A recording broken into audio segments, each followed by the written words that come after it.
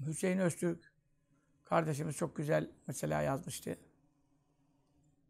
Bu film hakkında Efendimiz sallallahu aleyhi ve sellem çocukluğu hakkında bir şey çıkartmışlar. İranlı bir adammış bu. Mecit Mecidi miymiş? Neymiş? Bu film hakkında işte İran yine yapacağını yaptı. Yine memleketi karıştırdı. Yine fitne karıştırdı. İşte en iyi dostlarımız bile birbirine girdik. Seyredin diyen var, seyretmeyin diyen var. İşte İran hep İslam alemini efendim karıştırır, fitne çıkarır falan. Güzel mesela Hüseyin Öztürk'ün yazısı vardı. Ondan sonra yine bir adını unutabilirim. Mazur görsün beni bir kardeşimizin yazısı. Tanışmıyorum şahsen kendileriyle. Ama doğruya doğru, güzele güzel. Ee, yine orada işte efendim İran'ın bir tane dostu yok. Müslüman ülkelerden bir tane dost yok.